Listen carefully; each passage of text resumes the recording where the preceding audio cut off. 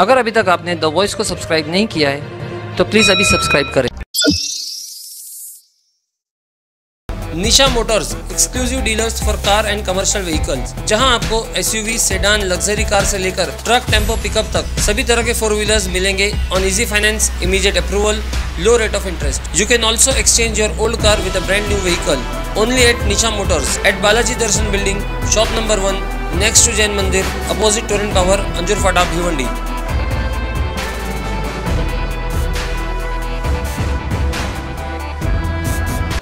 hello friends मैं फिरोज मेमन दवाज में आप सभी का स्वागत है। फ़िलहाल हम खड़े भिवंडी वरला तालाब के पास। ये जो भाग्यनगर का जो एरिया है, पीछे की साइड का जहाँ आयुक्त साहब का जो बंगला है, उसके ठीक थोड़ा सा आगे। तो यहाँ पे हम खड़े वरला तालाब जो है, कई दिनों से या कई महीनों से काफ़ी चर्चे में है भिवंडी के अंदर, क्योंकि इसकी साफ़ सफ़ाई को लेकर और इसके गंदे पानी को लेकर काफ़ी चर्चे में है।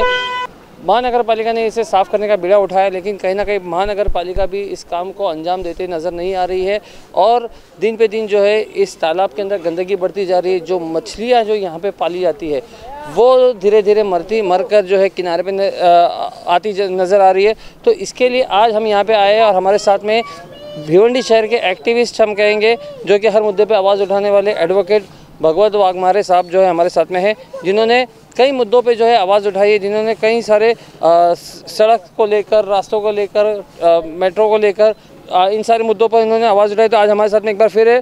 तो थोड़ा सा हम उनसे बात करेंगे। वकील साहब, आप थोड़ा सा बताइए, ये जो तालाब के बारे में आपने पहले भी दो वीडियो बनाया था और इसमें आपने काफ़ी आवाज़ें उठाई थी, उसमें आपने कहा था कि प्रशासन को अपने निशाना लगाया था कि ये साफ़ होना चाहिए।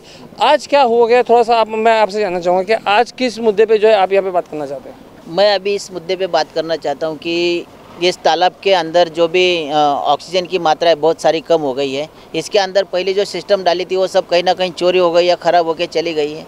इसके ऊपर ये चारों तरफ़ से यही भूमिपुत्र कोई नगर सेवक है, सब कुछ सब कुछ है यहाँ पर। फिर भी ये तालाब की निगरानी नहीं होती है और आज आज आप देखेंगे कि पूरा जो कचरा भरा पड़ा है, ये जो देख रहे हैं आप, ये पूरा कचरा भरा पड़ा है और इसके अंदर ऑक्सीजन न होने की वजह से मानसरोवर के साइड से एक बार एक महिला का ड्रेनेज पूरा पूरा पूरा अंदर आ जाता है। ये यहाँ से ये जो झोपड़पट्टी का, इस यहाँ से अंदर एक महिला का पूरा ड्रेनेज अंदर छोड़ा है। और इसके वजह से पूरे जो तालाब के अंदर के जो जीव जंतु है, जो मछली है, हालाँकि वो ठेका महानगर पालिका ने ही किसी को दे के रखा है।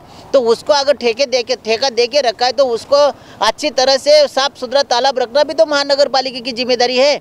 जो ठेका लिया वो भी तो साफ़ कर सकता है ना वो तो साफ़ वो, साफ़ कर सकते हैं लेकिन कितना साफ़ करेगा एक आदमी ठेका लिया हुआ? महानगर पालिका प्रशासन का काम है ना क्योंकि ये तालाब ठेकेदार का नहीं है कोई उसकी नहीं है लेकिन ये तालाब जो है वो महानगर पालिका के अंडर में आता है और हालाँकि इसको कई लाख कई करोड़ का निधि स्वच्छ और सुंदर भिवंडी के लिए आ जाता है। तो मेरा सवाल यही है कि इतना पैसा का आने के बाद भी ये तालाब का खाली कटरा रिपेयरिंग नहीं होता है? ये तालाब का खाली कचरा नहीं निकल जाता है? क्या है ये ये सब आ, तो मैं मैं चिल्लाऊं नहीं तो क्या करूँ? अगर ये तालाब भिवंडी की एक शान है इतना ही निसर्ग सौंदर्य है यहाँ पर यहाँ पे हज़ारों लोग कई कई डेली के कई लोग आके मच्छी खरीद के चले जाते हैं भले ही पैसे से खरीदते हैं लेकिन खरीद के चले जाते हैं उनको खाने के मिलता है। आज ये दूषित मच्छी अगर लोग लोग खाएँगे दो दूषित मच्छी है लोग खा जाएँगे और उनको कोई जीवित को हो गया तो ये क्या महानगर भर के देगी? नहीं तो इसमें आप मुझे बताइए कि आपने देखा है कि आसपास में जो है यहाँ पे दूषित मतलब पानी दूषित होने की वजह से जो है मछलियाँ मर रही है हाँ देखो ना आप देखो ये सब देखो ये सब देखो यही तो मछली है। देखो आप वीडियो में भी देख रहे हो। इतनी तो मच्छी गिरी है। अभी यहाँ पे इतनी भीड़ उमड़ी थी कि मुझे तो कैसे लग रहा था कि कोई अंदर ना चला जाए। इतनी भीड़ लगी थी अभी एक दो घंटे पहले मैंने हालाँकि एक आधे घंटे पहले एक वीडियो भी डाला है प्रशासन के प्रशासन को टारगेट करके मैं किसी को टारगेट नहीं करता नहीं तो वो जो लोग थे वो मछलियाँ लूटने के लिए आए थे? मछलियाँ लूटने के लिए आए थे मुझे ऐसा डर लग रहा था कि उनको उनको जीवित को अगर कुछ हो जाए ऐसी दूषित मछली खा के तो इसका जिम्मेदार कौन है? उसका तो इंश्योरेंस भी नहीं होगा। वो बेचारी महँगे महँगाई की वजह से मरे पड़े हैं उनको लगता है कि चलो मच्छी फोकट की मिल रही है तो खा लो। अरे लेकिन क्या हो रहा है ये? ये स, ये ये इनको दिखता नहीं है क्या? महापौर को दिखता नहीं है क्या? कमिश्नर को दिखता नहीं है यहाँ के इंजीनियर यहाँ का ये एनवायरमेंट डिपार्टमेंट क्या करता है आखिरकार? इतना सब पैसा आता है तो क्या होता है? पूरा पत्थर का पत्थर का पूरा कटड़ा टूट पड़ा है। हम्म। हाँ कुछ नहीं है। वहाँ पे वरालदी मंगल भवन के बाजू में जो डबका बना है वो गटर बन गई है उसको इतनी बदबू आ जाती है। अच्छा यहाँ पे कितना ड्रेनेज का पानी जो है इस, इस तालाब में छोड़ा जाता है? दो ड्रेनेज का पानी आ जाता है उसके अंदर से और दो ड्रेनेज से पूरा मैला उसके अंदर आ जाता है। हालाँकि आ, छः छः महीना पहले मैंने वो महिला हाथ पे लेके दिखाया था और बोला भी था कि माना पाके किस आदमी के मुँह को ये लगाऊँ मैं?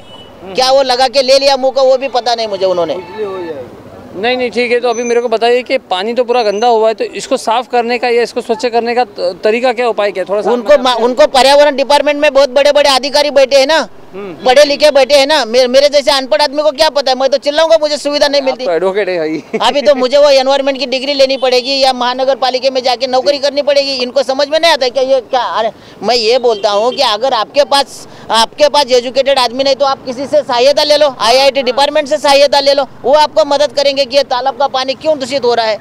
बिल्कुल। हाँ हाँ, हाँ, कई जहाँ कई कई प्रकार की तो सोल्यूशन निकलेंगे ना साहब उसके अंदर। सही बात है। तो आखिरी में भी आपकी क्या डिमांड है कि ये तालाब जो है स्वच्छ होना चाहिए? फिरोज भाई देखो ये मैं एक बात बोल देता हूँ। ये कोविड के वजह से मैं जो चिल्ला चिल्ला के ऐसा नहीं कि मैं घर पे जाके बैठता हूँ वीडियो डाल के कोविड के वजह से मेरे जैसा एक पढ़ा लिखा आदमी रास्ते पे आना नहीं चाहता भीड़ बनाना नहीं चाहता क्योंकि कोविड पीरियड एक बेकार है। आम लोग तो आ जाएँगे लेकिन कहीं दुर्भाग्य से उनको बीमारी लग गई तो वो बहुत बेकार है। इसके लिए मैं कोविड के वजह से रस्ते पर आता नहीं हूँ। लेकिन एक वक्त आएगा ये भिवंडी की जनता जनता आवाज़ उठाएगी और ये भिवंडी की जनता को मुझे एक नई ज़िंदगी एक नया नया वातावरण देना है इनको एक नया नया भिवंडी शहर दिखाना है आने वाले समय में लेकिन कोविड के वजह से मैं घर के बाहर ये सब माहौल बनाता नहीं हूँ। और इसका मतलब ये लोग समझते कि ये कुछ नहीं बोलता चिल्लाता है घर पे बैठता है। वाघमारे साहब ऐसे फिर अकेले चिल्लाने से अकेले लड़ने से कुछ नहीं होगा फिर इसके लिए तो आपको सत्ता में आना पड़ेगा। मैं अकेला नहीं हूँ मैं अकेला नहीं हूँ फिरोज भाई। तो क्या आप प्लान कर रहे हैं क्या इलेक्शन में आने हो जाएगा कुछ ना कुछ हो जाएगा कुछ ना कुछ। अगर कहीं अभी पंजाब में भी तो बदला हो गया दिल्ली में भी तो बदला हो गया। मुझे यही कहना है कि ये पाँच पाँच छः छः बार जो चुन के आते हैं, दो दो, तीन तीन बार जो महापौर के सीट पे बैठे हैं, जो बैठने का अभी ख्वाहिश रख रहे हैं, भावी महापौर, भावी नगर सेवक, भावी आमदार, भावी खासदार, मुझे इनसे भिवंडी को मुक्त करना है।